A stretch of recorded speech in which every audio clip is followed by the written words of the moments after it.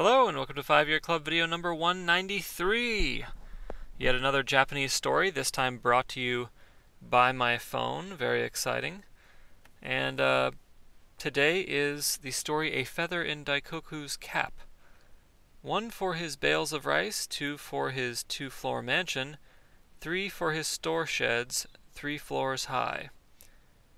So ran the Daikoku dancer's song, and if you looked for someone to fit it, in Kyoto there was the wealthy merchant called Daikokuya.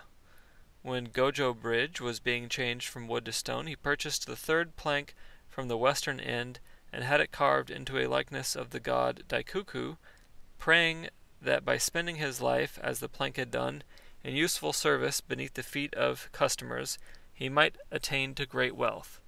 In profit, in faith there is profit, and his household steadily grew more prosperous. He called himself Daikokuya Shinbai, and the name was known to all. He had three sons, all safely reared to manhood, and all gifted with intelligence. The old man, delighted at such good fortune, was passing his declining years in great satisfaction and getting ready for retirement when the eldest son, Shinroku, suddenly started to spend recklessly, visiting the brothel quarters again and again with no account of the expense. After half a year, the clerks discovered that 170 kanmei of the money recorded in their cash books had disappeared. When it became clear, however, that Shinroku could never repay the money, they worked secretly together on his behalf and, by falsifying the prices of goods being held in stock, managed to get him safely through the next reckoning day in the seventh month. But for all their earnest pleas that he should live less extravagantly in the future, he took no notice and at the reckoning for the, the year the cash was short again by 230 kanmei. A fox with his tail exposed, Shinroku could play his tricks no more, and he sought refuge with a friend who lived by the na- by the Inari Fox Shrine at Fushimi, south of Kyoto. His father, a straight-laced old man, was furious, and no amount of pleading softened his temper. Summoning the neighborhood group to come to his house in formal dress, he publicly denounced his son and abandoned him to his own devices. When a father dissociates himself in this way from his own son, it is for no trifling misdemeanor. Shinroku was now in sorry straits. It was impossible for him to remain in the vicinity, even in his present refuge. But if he was to leave and make for Edo, he must have money, and at the moment he had not even the price of a pair of sandals for the journey. Was there ever a more unhappy case than mine? he moaned, but self pitying did nothing to mend his fortune. It was on the evening of the twenty eighth of the twelfth moon, soon after Shinroku had entered the bathtub in his lodgings, that someone shouted the dread alarm of his father's approach. Terrified, Shinroku leaped up, leaped from the tub, hastily draped a padded kimono about his dripping body, and fled into the street. He held his sash in one hand, but had somehow forgotten to retrieve his underwear, and now that Shinroku was eager at last to get ready for the walk to Edo, the absence of his loincloth was truly unfortunate. It was not until the 29th that he finally set out. The skies were overcast, and as he passed Fuji no Mori, south of Kyoto, the snow that had long threatened began to fall and settled on the pines. Shinroku was hatless, and icy drops oozed past his collar. By sundown, his spirits still further depressed by the booming of temple bells, he was gazing with longing at the steaming tea urns in the cozy rest houses of Okamedani and Kanshuji. A sip of tea, he felt, was the very thing to ward off this bitter cold. Having no money, however, he bided his time until he noticed a house before which the palanquins from Fushimi or Otsu were drawing up with particular frequency. It was jammed tight with customers, and in the general confusion he quenched his thirst free of charge. And as he left, he took the opportunity to appropriate a straw cape that someone had momentarily laid aside. After this initiation into the art of thieving, he proceeded along the road toward the village of Ono. There, beneath the branches of a desolate leafless persimmon tree, he came across a group of children bewailing some misfortune. What a shame, he heard one say. Poor old Benkei's dead. Stretched on the ground before them was a huge black dog the size of a carter's ox. Shinroku went up to the children and persuaded them to let him have the carcass. Wrapping it in the straw cape he had stolen, he carried it with him as far as the foot of Otowa Hill, and there addressed some laborers who were digging in the fields. This dog, said Shinroku, should make a wonderful cure for nervous indigestion. For more than three years I've fed him on every variety of drug, and now I intend to bury him into black medicinal ash. Well, there's something we should all well that that's something we should all profit from, exclaimed the laborers, and fetching brushwood and withered bamboo grass from around them, they produced their tinder wallets and started a, a fire. Shinroku gave a little of the ash to each of them, flung the remainder across his shoulders, and set off again. Oh, now we got a, a nice image here. Shinroku is chased out of the bathtub by his enraged father, who is waving a long stick. The surprised landlady, wearing a cotton cap, and her two attendants are attempting to bring the old man back to his senses. A clerk left follows Shinroku with his clothes. Well, that's dramatic. He looks pretty calm for someone with no loincloth. Alright. And his shoulders and set off again. Crying, burned wolf powder, mimicking the curious local dialect, he proceeded to hawk his wares along the road, passing the Osaka barrier gate, where people come and people go, both those you know and those you know not. He persuaded all and sundry to stop and buy. Even peddlers of needles and hawkers of writing brushes, who had long experience themselves in swindling travelers, were taken in by him, and between Oiwake and Hacho he sold 580 zeni worth of ash. What a pity, he told himself, never to have realized until now what a born genius he was. If he had used his wits like this in Kyoto, no worrisome walk to Edo would ever have been necessary. Laughing at the thought, and at the same time on the verge of tears, he pressed on across the long bridge at Seta and steeled himself to think only of what laid eastward. He passed New Year's Day at a lodging house in Kusatsu, where even he refreshed himself on the local uba cakes. He caught a glimpse of Mirror Mountain and wept again for Kyoto and the old familiar mirror cakes of home. But soon, like those first blossoms on Cherry Hill, buds of hope were stirring in his breast, and then, as he sensed the fragrance and the color of his full flowering youth, he knew that he was ready and able to work and he laughed at the weak kneed ancient god of poverty behind him struggling to keep pace. I like that line from this. And he laughed at the weak kneed ancient god of poverty behind him struggling to keep pace. That's a good payday phrase. You get paid, and then you're like, ah, ha ha ha, weak kneed ancient god of poverty struggling behind me to keep pace. That's what I'm going to say my next payday. All right. At Uiso, even the age-old shrine was young with the spirit of spring, its trees white with sacred festoons, and the moon above, so sad in autumn, shone bright with promise for the future. Doubts lay demolished like the old barrier gates he passed at Fuwa, and day in, day out, he trudged onward. Taking the Mino road to Owari, and hawking his powder around every village, every town and village, on the Tokaido, the eastern seaboard highway. At last, on the 62nd day after leaving Kyoto, he arrived at Shinagawa. Now that he had then now that he not only had supported himself all this way, but also had made an overall profit of 2300 zeni, he threw the unsold remains of the black powder into the waves by the shore and hurried on toward Edo. But it grew dark, and as he had nowhere in Edo to stay, he passed the night before the gate of the Tokaiji temple at Shinagawa. Beneath its shelter, a number of outcasts were lying, stretched out under their straw capes. It was spring, but the wind from the sea was strong, and the roar of the waves kept him from closing his eyes until midnight.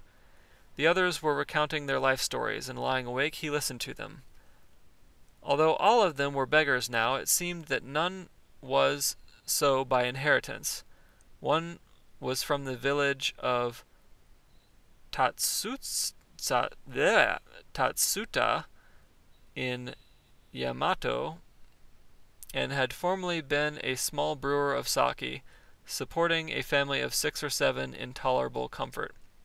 However, when the money he had been steadily putting by amounted to 100 koban, he decided that getting rich by running a local business was a slow process, and, disregarding all that his relations and friends said to dissuade him, he abandoned his shop and came down to Edo. Following his own foolhardy impulses, he rented a shop from a fishmonger in Gofukucho and started a business alongside all the high class sake stores. He could not, however, compete with the products of Konoike, Itami, and IKEA? No, ha ha ha, Ikeda.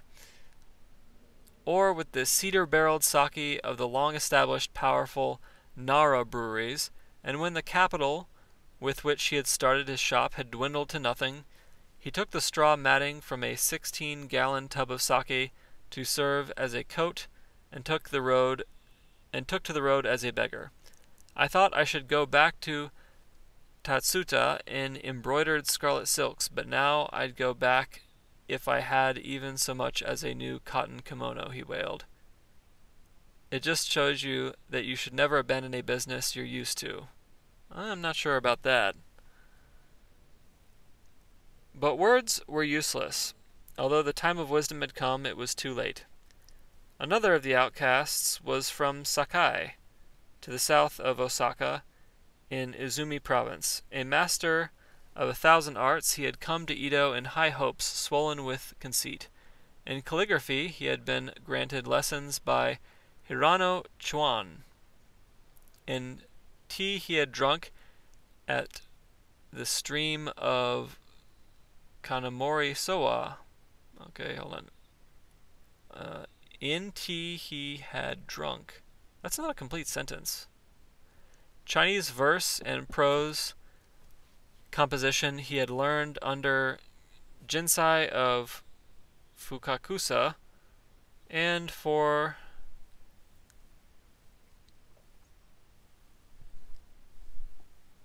linked verse and haikai, he had been a pupil of Nishiyama Soin. In no drama he had mastered the dramatic style of Kobutake and the drum technique of Shoda Yomen. Mornings he had listened to Ito Ginchiki expounding on the classics. Evenings he had practiced kickball under Lord Asukai. During the afternoon he had joined in Ginsai's chess classes, and at night he had learned koto fingering from the cuts. Man, this is a hard sentence. from the Yatsuhashi Kengyo and blowing the flute as a pupil of Sosan. In Joruri recital, he learned the style of Uji Kadayu, and in dancing, he was the equal of Yamatoya no Jinbai. In the art of love, he had been trained by the great Shimabara courtesan Takahashi, and in revels with the boy actors he had copied to perfection the mannerisms of Suzuki Hayachi. Under the guidance of the professional entertainers in both the Shimi, Shimabara and the unlicensed quarter, he had developed into a pleasure seeker of exquisite refinement. If there was anything that a man could do, he had sought out a specialist in it and had copied his technique and he was now proudly regarded and he now proudly regarded himself as one qualified to succeed in any task to which he might turn his hand.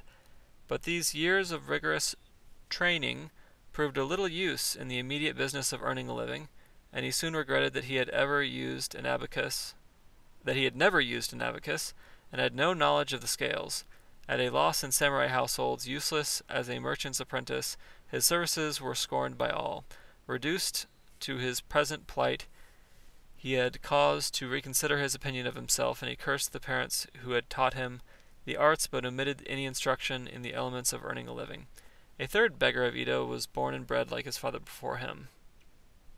Although he had once owned a large mansion and grounds in Toricho, drawing a regular income of 600 koban per annum from the house rents, he had no conception of the meaning of the simple word economy, and before long he had sold everything except the walls and roof of his house. Left without a means of support, he abandoned society and his home, and took the life of a beggar, an outcast in practice, even if not registered as one with the Kurama Zenchichi's guild.